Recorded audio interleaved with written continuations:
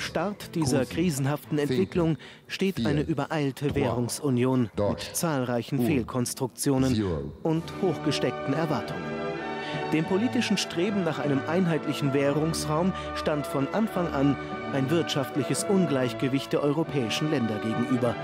Doch Politiker sahen darüber hinweg und beschworen den politischen Einigungsprozess durch den Euro. 2002 ging der Euro auch über Griechenland auf. Doch das Land hatte seine Bilanzen gefälscht. Nicht nur die bösen Buben, sondern auch die vermeintlichen Musterschüler der Eurozone nahmen es nicht so genau mit der Haushaltsdisziplin. Deutschland und Frankreich verletzten von 2002 bis 2003 den europäischen Stabilitätspakt. Rund zehn Jahre zuvor hatte Deutschland den EU-Vertrag von Maastricht noch mit unterzeichnet. Doch der Sparwille wurde bei vielen Ländern zum Lippenbekenntnis. Da es ohnehin immer wieder neue Kredite gab, verließ man sich auf den scheinbar unbegrenzten Geldfluss im Euroraum.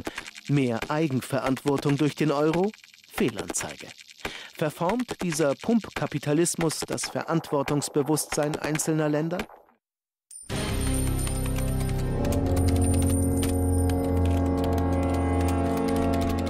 Pleitegeier kreist über Griechenland.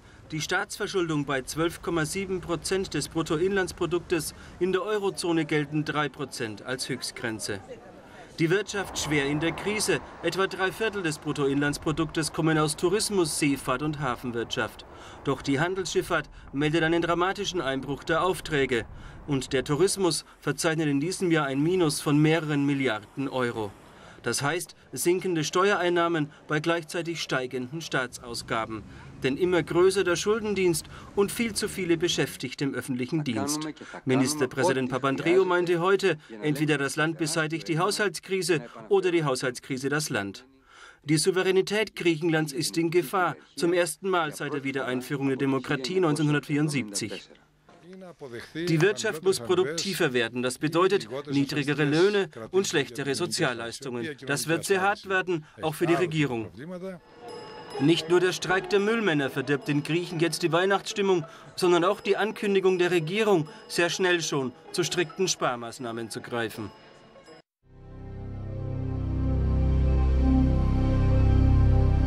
Die Wall Street hat beim Verschleiern der desolaten Finanzlage Griechenlands kräftig mitgemischt. Große US-Banken, zum Beispiel Goldman Sachs, haben jahrelang mitgeholfen, die Rekordverschuldung zu vertuschen. Mit Buchhaltungstricks. Die Bank stellte Griechenland im Rahmen eines Währungsgeschäfts Milliarden zur Verfügung. Diese wurden aber nicht als Schulden nach Brüssel gemeldet. Im Gegenzug hat Griechenland zum Beispiel Gebühren aus Flughäfen oder Autobahnen an Goldman Sachs abgetreten. Die Bank konnte so Millionengewinne erzielen.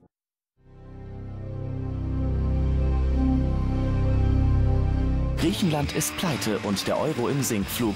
Ausgerechnet damit lässt sich Geld verdienen. Viel Geld.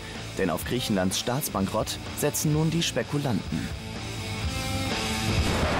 Die Spekulanten spekulieren auf eine Krise, auf eine Pleite in Griechenland, währenddem die Politik und vernünftige Menschen dabei sind, die Pleite zu verhindern. Und da zeigt sich, Spekulation auf Pleite ist Gift, ist kontraproduktiv, sondern wir brauchen jetzt eine Strategie der Stärkung Griechenlands und da muss den Spekulanten in der Tat das Handwerk gelegt werden.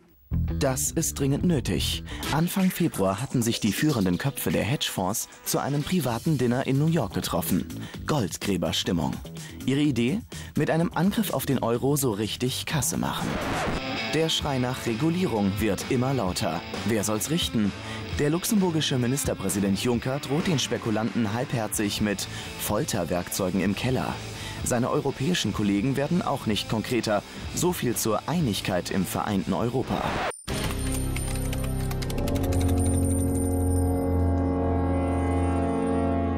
Zeigen sich wieder gern mit Ihrem griechischen Kollegen. Europas Finanzminister sind durchaus beeindruckt, wie konsequent in Athen die angekündigten Sparmaßnahmen umgesetzt werden. Und dass Georgos Papakonstantino allem Gerede trotzt und partout nicht um finanzielle Hilfe bittet, das erleichtert die Zusammenarbeit obendrein. Worum wir immer gebeten haben, ist politische Unterstützung, damit wir uns an den Märkten zu erträglichen Zinsen Geld leihen können. Es ist vor allem Vertrauen Vertrauen, das die griechische Regierung dafür braucht. Zurückgewinnen will sie es mit ihren Sparmaßnahmen, aber ebenso wichtig ist dafür die Garantie, dass Europa die Griechen auch im Notfall nicht allein lassen würde. Und genau das ist längst beschlossen. Es gibt keine Kredite, weil Griechenland nicht danach gefragt hat. Aber wenn, da bin ich sicher, dann werden alle Euro-Länder da sein. Nach Ansicht der Finanzminister könnten dann andere Länder den Griechen mit Krediten helfen. Aber da diese Notlage nicht vorliege, seien Beschlüsse dazu nicht gefasst worden.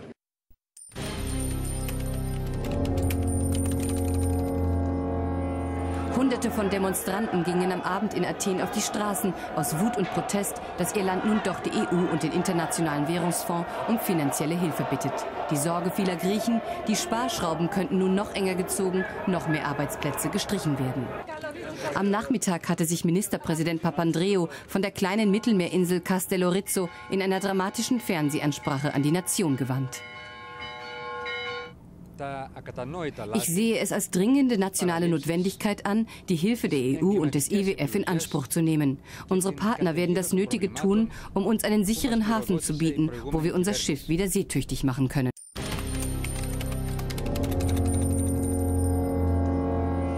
Zur Abwehr von Spekulanten und künftigen Schuldenkrisen haben die Euro-Länder ein gigantisches Rettungspaket geschnürt.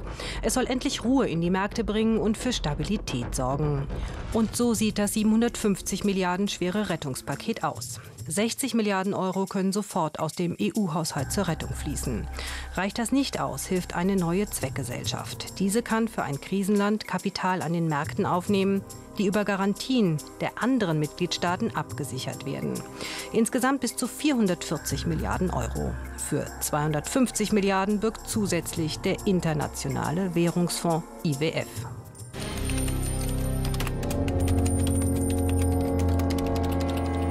Trauerkerzen vor dem Amtssitz des Premiers in Dublin vergangene Nacht. Die Politik hat Irland an den Rand des Ruins gebracht, finden viele Iren. Sie waren immer stolz auf ihre Unabhängigkeit. Nun fürchten sie um die finanzielle Selbstbestimmung Irlands, wenn der Premier Europa um ein Rettungspaket bittet. Ich kann bestätigen, dass die Regierung entschieden hat, dass sich Irland um finanzielle Hilfe durch die Europäische Union bewirbt. Die Bitte der Regierung wurde den EU-Behörden übermittelt und sie haben zugestimmt. Die genaue Summe für Irland wird noch verhandelt. Nötig ist die Hilfe, weil der Staat durch die Rettung seiner eigenen Banken in Finanznot geraten war.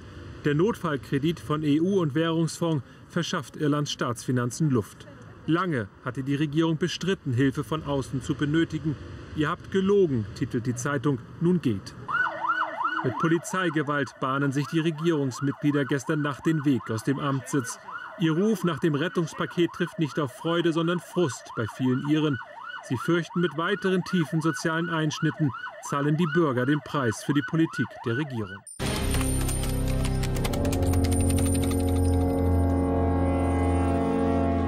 Irgendwie waren sie heute alle ausgesprochen freundlich zueinander. Der Chef der Eurogruppe, Jean-Claude Juncker, verschenkte gar Blumen beim Brüsseler Frühlingsgipfel. Fast alle Regierungschefs erleichtert, gelöst und einig wie selten zuvor. Kein Wunder, nach monatelangem Ringen ist der Durchbruch endlich gelungen. Der Euro scheint auf ein solides Fundament gestellt. Es ist die umfassendste Reform seit Beginn der Währungsunion 99. Die Mitgliedstaaten des Euroraums haben sich dieser Krise gewachsen gezeigt und die notwendigen Schlussfolgerungen daraus gezogen.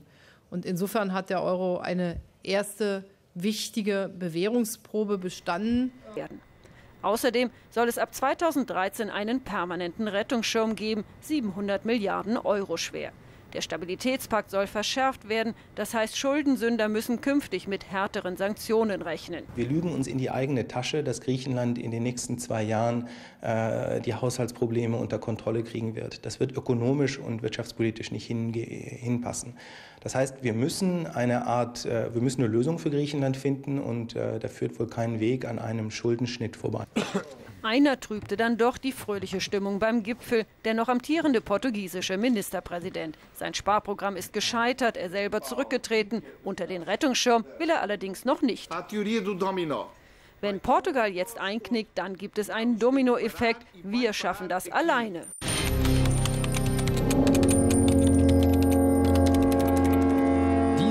EU-Beitritt hatte José Sokrates um jeden Preis vermeiden wollen, doch nun ist es soweit. Noch einmal durchschnaufen. Vor zwei Wochen war er zurückgetreten als Portugals Regierungschef, um den fatalen Satz nicht sagen zu müssen. Aber weil er kommissarisch immer noch im Amt ist, ist es jetzt soweit. Tonprobe, Jacke an und dann die Botschaft. Es ist meine Verpflichtung und meine Verantwortung, das nationale Interesse an erste Stelle zu setzen. Und darum muss ich den Portugiesen mitteilen, dass die Regierung heute beschlossen hat, sich an die Europäische Kommission zu wenden, um bei ihr um finanzielle Hilfe zu bitten, um unser Finanzsystem und unsere Wirtschaft zu schützen.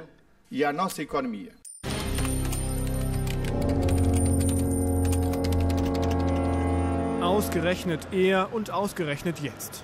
Mitten in der größten Krise des Euro schmeißt Jürgen Stark das Handtuch als Chefvolkswirt der Europäischen Zentralbank.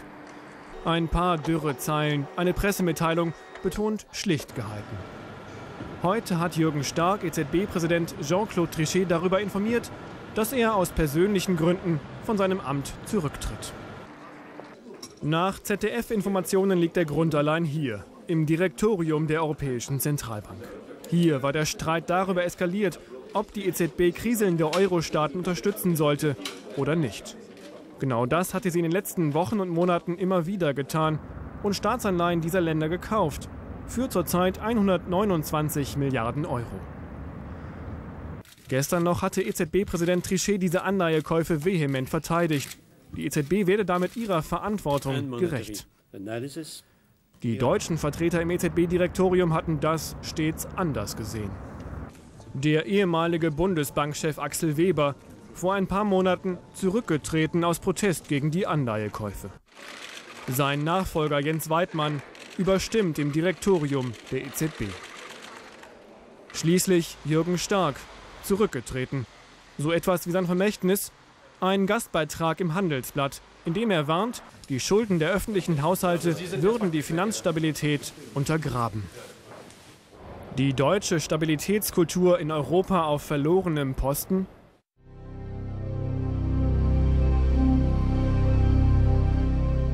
Gestern Griechenland, vorgestern Irland, letzte Woche Portugal und nun sogar Amerika im Visier der US-Ratingagenturen Moody's, Standard Poor's und Fitch. Deren Macht wird der Politik zunehmend unheimlich. Aus der EU wie aus den Hauptstädten kommt scharfe Kritik. Die Ratingagenturen würden mit ihren Bewertungen die Krise nur noch verschärfen. Die EU geht zum Gegenangriff über. Wir müssen die Abhängigkeit von den Ratingagenturen verringern. Im Herbst werde ich dazu rigorose Vorschläge auf den Tisch legen. Ihre Macht wollen wir brechen. Doch das ist nicht so einfach. Viele Banken, aber auch die Europäische Zentralbank, haben sich in ihren Statuten von den Regeln der Ratingagenturen abhängig gemacht. So darf die EZB zum Beispiel keine Anleihen von Staaten als Sicherheit akzeptieren, die von den Ratingagenturen als Zahlungsausfall eingestuft werden. Standard Poor's wehrt sich. Wir sind unserer Objektivität und den Anlegern an den Kapitalmärkten verantwortlich. Äh, um die Aufgabe unserer Objektivität und das äh, Verändern unser, unseres Handelns im Sinne einer, einer politischen Lösung ist für uns undenkbar. Die Weltbörsen verunsichert seit Tagen Zickzackkurs. Die Finanzmärkte warten auf ein klares Signal der Politik. Doch die EU-Finanzminister ratlos. Sie zeigen keinen Weg aus der Krise. In Brüssel soll nun in den kommenden Tagen ein Krisengipfel der Staats- und Regierungschefs stattfinden. Die Eurokrise ist jetzt endgültig Chefsache. Das hier ist Italien. Da ist es schön, lecker essen, schöne Frauen, Weltmeister im Elfmeterschinden. Aber dem Italien, dem geht's gar nicht so gut. Schuld daran sind diese Männer, Hedgefondsmanager. Onkel Gernot, was macht ein Hedgefondsmanager? Gute Frage. Die machen gar nichts. Die machen alles kaputt und werden dabei reicher als Gott.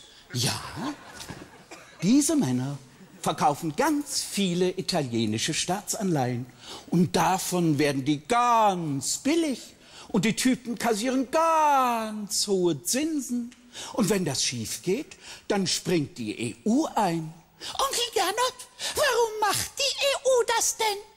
Ganz einfach, weil die EU dumm wie Scheiße ist. Und weil diesen Jungs hier auch die Ratingagenturen gehören, können die Italien jederzeit noch weiter runterstufen.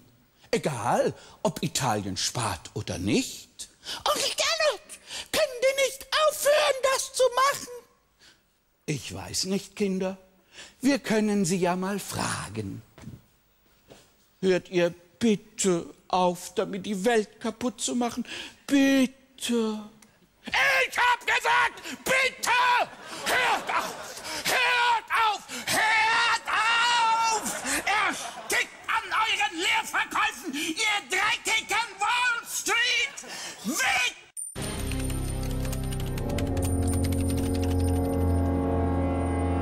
Wenn alles so geschmiert laufen würde wie die Nobelkarossen, mit der Staatsgäste wie heute der französische Präsident in Rom vorfahren, hätte Italien weniger Probleme. Doch Italien hat massive Probleme und Mario Monti räumt ein, er könne verstehen, wenn sein Land durch die Vergangenheit als lustig und undiszipliniert wahrgenommen würde. Aber er versucht gleichzeitig seine politischen Gesprächspartner vom Gegenteil zu überzeugen. Angesichts der Fakten eine kaum lösbare Aufgabe. Die Industrieproduktion ist in den vergangenen fünf Jahren um ein Viertel geschrumpft. Die Arbeitslosenquote liegt bei 10 Prozent. Von den unter 25-Jährigen ist sogar jeder Dritte ohne Arbeit. Die Summe aller wirtschaftlichen Leistungen wird in diesem Jahr ab statt zunehmen und die Schulden wachsen und wachsen und werden erstmals 2000 Milliarden Euro überschreiten. Doch zunächst ist entscheidend, wie das Land zusammenhält. Noch folgen die meisten Monti-Sparkurs, doch das allein reicht nicht. Die Folgen der Verunsicherung treffen Italien nämlich hart. Neue Staatsanleihen konnten heute nur mit massivem Aufschlag an die Anleger gebracht werden. Eineinhalb Zinspunkte mehr als noch Ende Mai. Es bleibt ein Schreckgespenst. Die drittstärkste Wirtschaftsnation Europas ist zu groß für den Rettungsschirm. Nicht auszumalen, wenn Italien doch noch Geld von dort benötigt.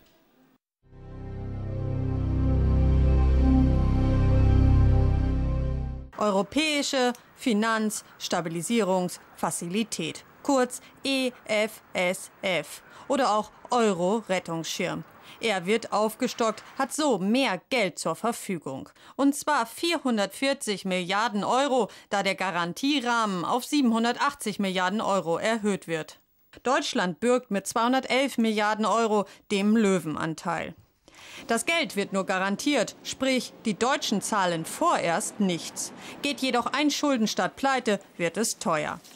Mehr Geld im Topf, mehr Möglichkeiten der Hilfe, wie diese. Staatsanleihen, also Schuldpapiere, zum Beispiel von Griechenland, werden normalerweise von Banken und Investoren gehandelt. Neu ist, dass auch der Rettungsschirm EFSF Anleihen kaufen kann. Ziel, die Staaten bekommen so frisches Geld und günstigere Kredite. Die dritte Neuerung. Kein deutscher Euro wird ab jetzt ohne die Zustimmung des Bundestags bereitgestellt.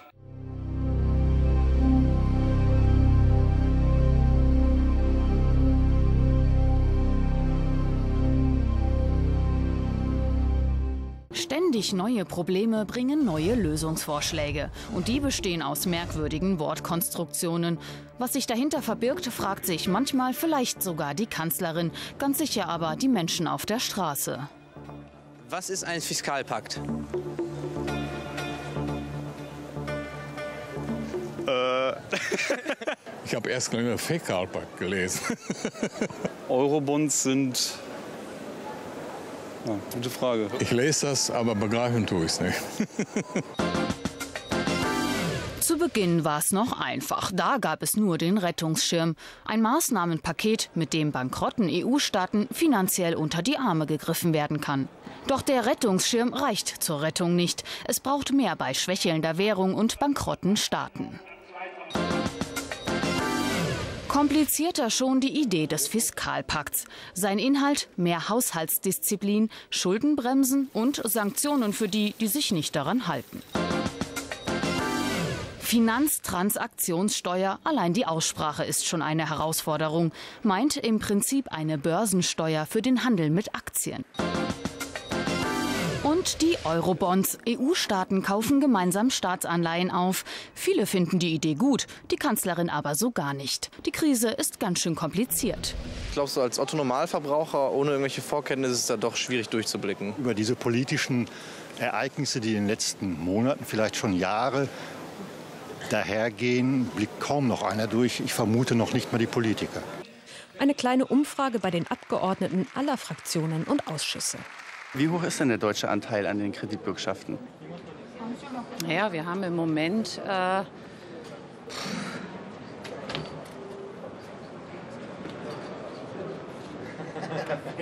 Nein, ich möchte dazu lieber nichts sagen. Wie hoch ist dieser Anteil? Kann ich es momentan nicht genau sagen. Ungefähr geschätzt?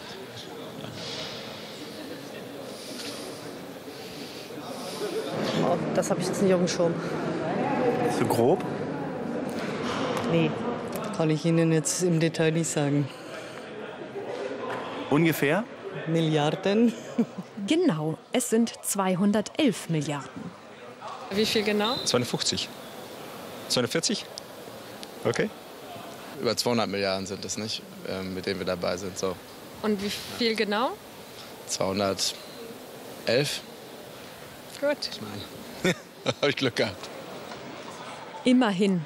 Einige haben es dann doch gewusst, aber beileibe nicht alle. Plenardebatte.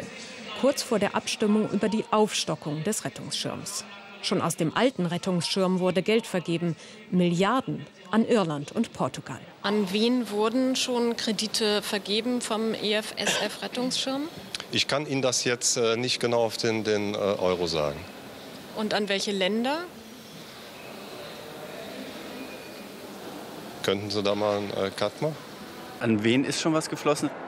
Ja, meine ich an Griechenland. Wir haben an Italien und Portugal, meine ich, nicht gezahlt bislang. Es waren Irland und Portugal? Irland, Irland und Portugal. Hm? Die Abgeordneten holen ihre Stimmkarten. Allen hier ist jetzt bewusst, es geht um die Rettung. Aber wer alles soll eigentlich gerettet werden? Können denn auch Banken äh, mit dem EFSF-Rettungsschirm gerettet werden? Ähm, das ist äh, nicht vorgesehen. Kann, kann sein, dass Banken gerettet werden, wenn es notwendig ist. Jawohl. Das stimmt doch, ne? Ja. Schön, dass das Parlament beim Rettungsschirm das letzte Wort haben will. Abstimmt nach bestem Wissen und Gewissen. Nur das Wissen könnte man noch ausbauen.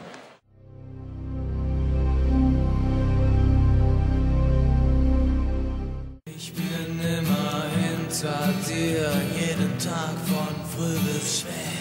Es gibt einen Artikel im Grundgesetz, der befasst sich mit dem Innersten, dem Persönlichsten der Bundestagsabgeordneten. Sie seien nicht an Aufträge oder Weisungen gebunden, sondern nur einem unterworfen, ihrem Gewissen, Gewissen, Gewissen, Gewissen.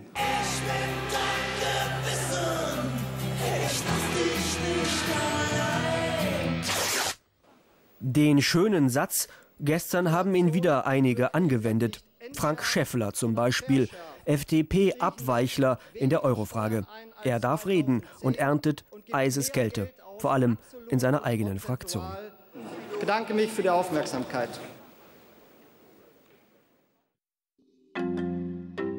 Er wurde bearbeitet, bedrängt, am Ende beschimpft. Was Wolfgang Bosbach widerfahren ist, legt frei, wie wundgescheuert das Nervenkostüm der Koalition ist. Angela Merkels Kanzleramtsminister Ronald Pofalla verlor die Nerven ganz und wurde ausfallend. Am Rande einer Sitzung ließ der Minister wissen, was er von seinem Parteifreund so hält. Weil sich die Koalition ihrer selbst nicht mehr sicher ist, erträgt sie ihre Abweichler nicht. Norbert Lammert bekommt das gerade zu spüren. Der Bundestagspräsident ließ gegen den Willen der Fraktionen zwei Neinsager zu Wort kommen. Fünf Minuten Redezeit, fünf Minuten zu viel der Zumutung. Ich bedanke mich ausdrücklich, dass das möglich war, hier vorzutragen. Und mit Blick an meine eigene Fraktion danke, dass ihr das ertragen habt.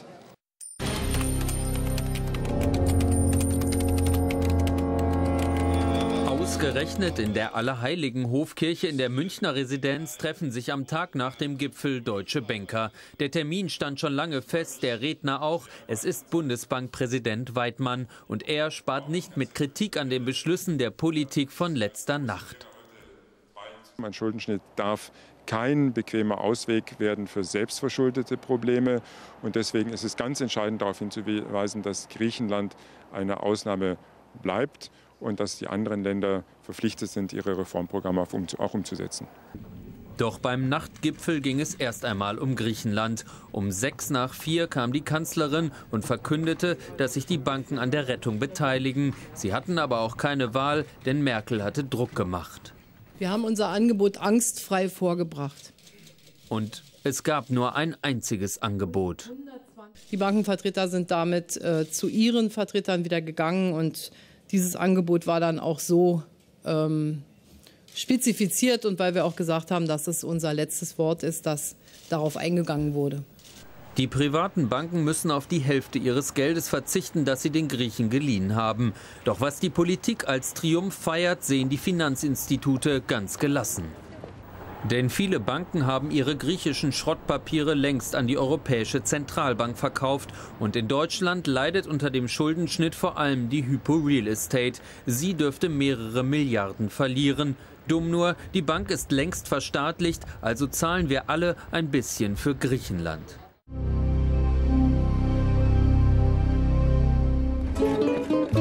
Es hatte doch alles so gut ausgesehen. Nach unzähligen Krisengipfeln schien die griechische Staatspleite erstmal abgewendet. Die Banken verzichten auf die Hälfte ihrer Forderungen, die Griechen schnallen den Gürtel noch ein bisschen enger, der Euro erstmal gerettet und Europa, ach was, die Welt atmet auf allerdings nur bis Montagabend. Da platzt dem Plan ausgerechnet die griechische Demokratie dazwischen. Ministerpräsident Papandreou lässt die Bombe hoch. Jetzt soll nämlich das Volk über das Sparpaket entscheiden. Es ist die höchste Form der Demokratie und es ist ein großer Moment für alle Bürger, wenn sie selbst entscheiden können. So lassen wir den Menschen das letzte Wort und sie über unsere Zukunft bestimmen. Nicht nur bei Sarkozy sorgt das für blankes Entsetzen. In Cannes beginnt gerade der G20-Gipfel und den bestimmt jetzt wieder Griechenland. Glauben Sie wirklich, dass Frau Merkel und ich, dass wir das aus Spaß an der Freude machen, was wir hier tun? Glauben Sie nicht, dass wir genügend Aufgaben in unseren jeweiligen Ländern haben? fragt ein offensichtlich ungehaltener Nicolas Sarkozy. En Europe? Es war wohl eine Wendung zu viel im griechischen Drama. Mit der diplomatischen Zurückhaltung ist jetzt erstmal Schluss. Die Europäer wie auch der Internationale Währungsfonds werden keine weiteren Hilfsmaßnahmen an Griechenland überweisen, solange das Land nicht die versprochenen Reformen schnell umsetzt und Ja sagt zum Euro.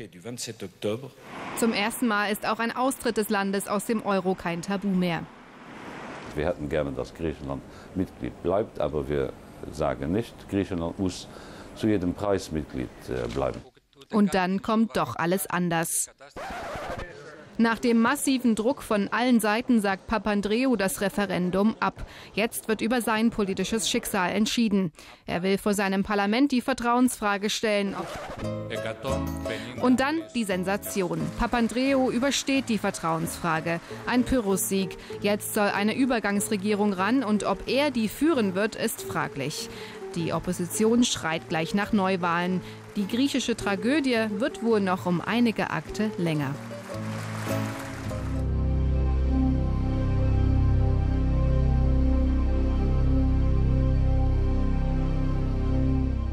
Angela Merkel bringt Europa gegen sich auf. Man hört von ihr immer wieder nur Nein. Die unbeugsame Angela Merkel ist die neue Gestalt deutscher Macht.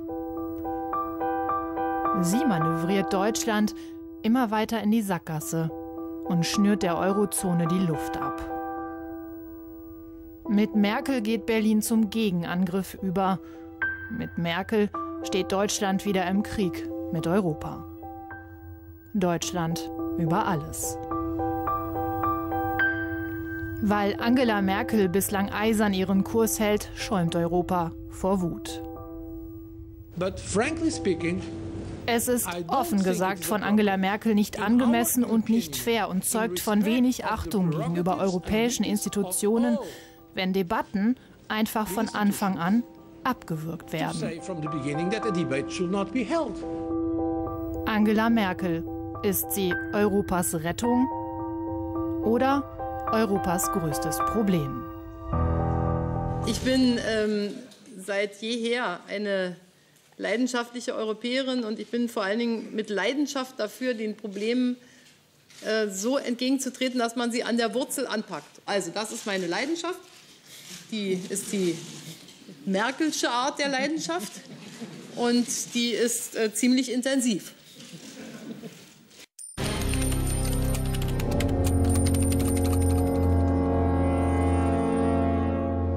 Das stolze Spanien am Rande des Abgrunds.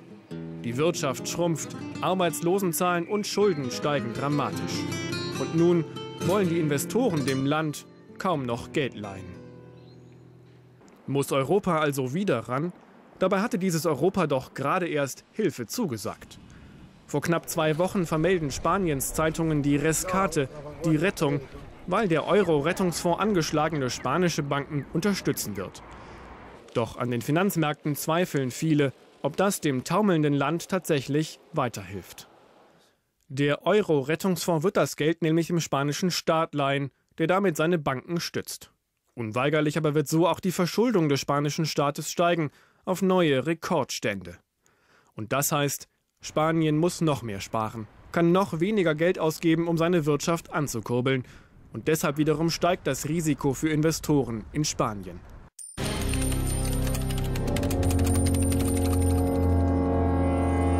Start in ihre Ratspräsidentschaft hatten sie sich anders vorgestellt. Präsidentenpalast der Republik Zypern extra nochmal angebaut, neue Küche, neuer Bankettsaal, alles für die EU. Doch groß zum Feiern ist jetzt niemandem mehr zumute. Der Präsident schickt eine dürre Erklärung an sein Volk, zwei Sätze. Man brauche Hilfe aus Europa, um die Risiken für Zyperns Wirtschaft zu reduzieren. Man könnte auch sagen, um die Pleite des ganzen Landes zu verhindern. Allein diese zyprische Bank braucht bis Ende der Woche fast 2 Milliarden Euro. Das sind mehr als 10 Prozent des gesamten Bruttoinlandsprodukts von Zypern. Die Banken haben stark in Griechenland investiert. Jetzt ist Zyperns eigene Kreditwürdigkeit auf Ramschniveau. Die stolzen Zyprer fürchten jetzt den Spott der EU-Partner. Sie fürchten, dass es heißen wird, Pleiteinsel übernimmt Ratspräsidentschaft. Mario Draghi, Chef der Europäischen Zentralbank, lässt keinen Zweifel. Seine Institution wird den Euro retten, koste es, was es wolle. Okay. Wir bewegen uns klar innerhalb unseres Mandats, mittelfristig für Geldwertstabilität zu sorgen. Wir arbeiten unabhängig in der Durchsetzung unserer Geldpolitik und der Euro ist unumkehrbar. And the euro is irreversible. Und das ist Draghis wohl letzte Waffe, die Notenpresse. Als Zentralbank kann die EZB quasi unbegrenzt Geld schöpfen. Mit diesem Geld will sie nun unbegrenzt Krisenstaaten unterstützen. Die Euro-Krise aber wird sie nicht allein lösen. Nach den Statuten ist es verboten, Staaten direkt zu finanzieren, weil daraus ähm, äh, letztendlich nicht heute und nicht morgen, aber mittel- bis längerfristig Inflation entstehen kann.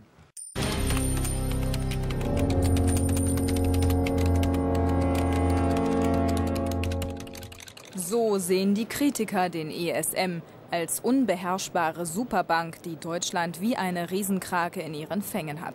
Der Verein Mehr Demokratie hatte mit dieser Animation vor unkalkulierbaren Risiken des ESM gewarnt. ESM, was ist das? ESM, das steht für Europäischer Stabilitätsmechanismus und ist der neue dauerhafte Rettungsschirm für Europa.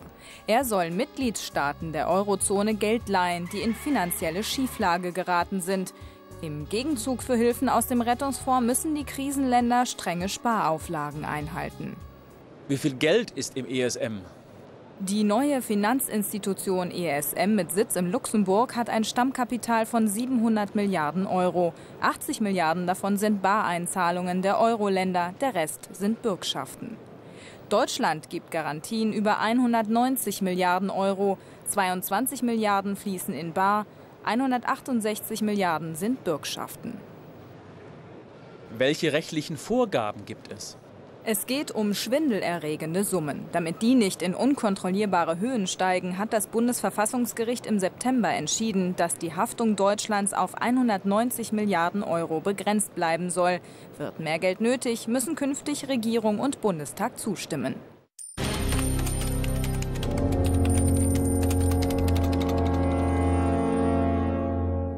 Am frühen Morgen die erlösende Nachricht für Griechenland.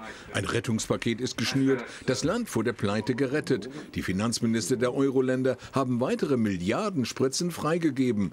Die Geldgeber haben sich darauf verständigt, die Finanzierungslücke von 33 Milliarden Euro bis 2016 zu schließen. So soll Athen mehr Zeit bekommen, seine Sparziele zu erreichen. Ferner soll Griechenland den Preisverfall seiner Anleihen zum Rückkauf nutzen. Außerdem sollen Kreditzinsen gesenkt und nach Athen zurückerstattet werden. Auch die Chefin des Internationalen Währungsfonds, Christine Lagarde, zufrieden, weil für die Zukunft ein Schuldenschnitt nicht ausgeschlossen wurde. Unsere Entscheidungen sind sehr solide. Wenn Griechenland die Reformen jetzt strikt umsetzt, dann kann das Land auch wieder wettbewerbsfähig werden, die Wirtschaft wachsen und Griechenland an die Märkte zurückkehren. Der griechische Finanzminister Stunaras fährt zufrieden nach Hause. Europa lässt Athen nicht fallen. Im Gepäck die Zusage, dass die Milliarden weiter fließen.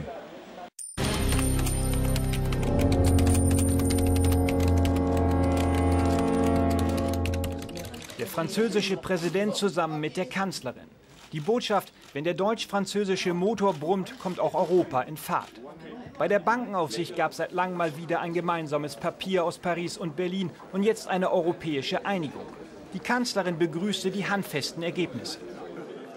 Es ist ein gutes Signal, dass die Finanzminister gestern die Bankenaufsicht äh, beschlossen haben. Das ist ein großer Schritt äh, zu mehr Verlässlichkeit und Vertrauen in die Eurozone. Zu den Erfolgen 2012 zielt die EU die Bewilligung der Griechenland-Hilfe, die Verabschiedung des permanenten Rettungsfonds ESM mit seiner stärkeren finanziellen Feuerkraft und die Verabschiedung der Bankenaufsicht. Damit sollen finanzielle Schieflagen nationaler Geldhäuser schneller auf dem Radar erkannt werden. Deutschland hat durchgesetzt, dass die EZB nur Geldhäuser mit einer Bilanzsumme ab 30 Milliarden Euro überwacht. Damit bleiben Sparkassen und Volksbanken in Deutschland unter der nationalen Aufsicht der BaFin. Insgesamt hat Griechenland in diesem Jahr bereits 75,6 Milliarden Euro an Krediten erhalten und heute über 49 Milliarden nochmal bewilligt bekommen. Deutschland hat lange gezögert, Athen noch einmal zu stützen, entschied sich letztlich dafür, trotz vieler Skeptiker das dieser Bevölkerung noch zumuten. Jetzt macht man Sparprogramme, um durch äh, diese Sparprogramme letztlich die Löhne zu drücken und die Preise zu drücken. Aber man kann sie gar nicht so weit drücken, bis sie wettbewerbsfähig werden, äh, weil der Weg viel zu weit ist. Vorher wird das Land zerbrechen. Doch Frankreich hatte sich nach der Wahl Hollandes eindeutig zu Griechenland bekannt. Außerdem mit den Südländern Italien und Spanien paktiert. Deutschland machte Kompromisse.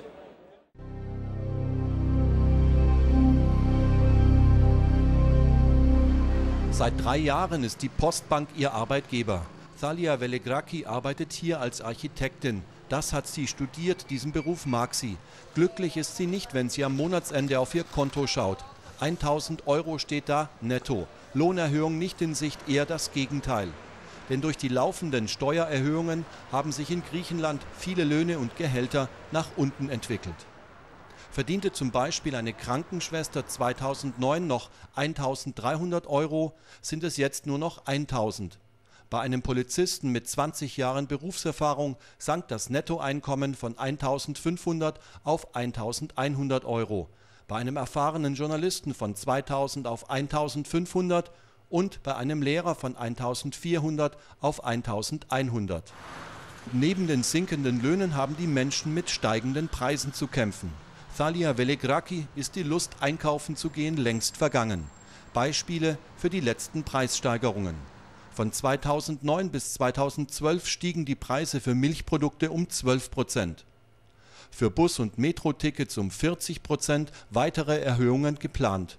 Und für Benzin um 50 Prozent. Bei Obst und Gemüse sind die Preise stabil gehalten worden, aber der Verbrauch ging dramatisch zurück. Das heißt, die Menschen können sich einfach nicht mehr so oft frisches Obst leisten. Für Thalia werden aus fröhlichen Shoppingtouren mehr und mehr Besichtigungstouren. In den letzten Jahren habe ich einen heftigen Preisanstieg beobachtet, vor allem nach der Erhöhung der Mehrwertsteuer. Und weil die Löhne gleich bleiben oder sinken, ist es sehr schwierig geworden für eine normale Familie, den Lebensunterhalt zu bestreiten. Steigende Preise und sinkende Löhne. Wer kann es den Menschen verdenken, dass sie gegen weitere Sparpakete demonstrieren? Fast jeder hier hat eine ähnliche Geschichte. Diese Frau musste ihr kleines Bettwäschegeschäft schließen. Wie es weitergehen soll, weiß sie nicht. Poli, die Krise macht mich krank, sehr krank. Ich weine die ganze Zeit. Vor neun Monaten wurde die Sozialstation für Menschen wie Stavrola Karakosta eröffnet. Mehr als 5000 Patienten waren seitdem schon hier. Dutzende Freiwillige behandeln ehrenamtlich. Und jeder, der Medikamente braucht, bekommt sie kostenlos in der hauseigenen Apotheke. Diana kommt zweimal in der Woche hierher, um zu helfen. Es ist ihr wichtig. Sie will ein Vorbild sein, denn die Krise sagt, sie kann jeden treffen. Das musste sie selbst erfahren. Vor ein paar Monaten verlor auch sie ihren Job in einer Klinik. Die Finanzkrise hat uns großen Schaden zugefügt. Und wenn wir einander jetzt nicht helfen, dann bleibt doch nichts mehr übrig. So eine Krise kann man nur bewältigen, wenn man als Team zusammenarbeitet. Das ist vielleicht die schönste Erfahrung für uns in dieser Zeit, dass wir alle zusammenhalten. Das gibt große Hoffnung in einem Land, das momentan sehr leidet. Was würde den Leuten passieren, wenn sie keine kostenlose Medizin hätten? Im schlimmsten Fall würden sie schlicht und einfach sterben. Gerade für manche Krebspatienten wäre das wirklich ein Todesurteil.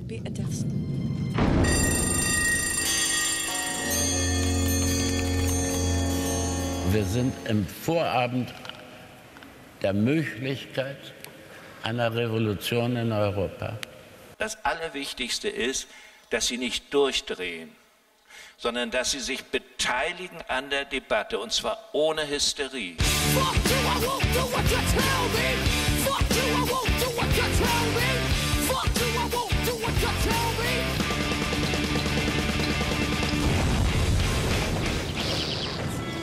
Das ist das Ende.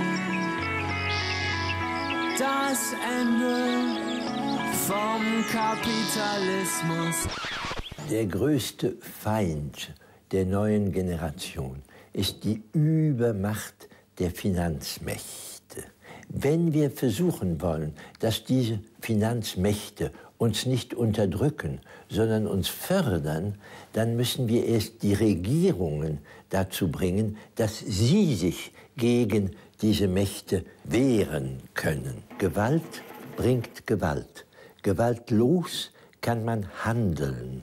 Und wenn man handelt und sich zusammensetzt und vorwärts geht, dann braucht man keine Gewalt mehr. Das ist die Welt von morgen. Das wünsche ich unseren Jugenden. Sie wollen keine Gewalt, sie wollen klug und vorwärts.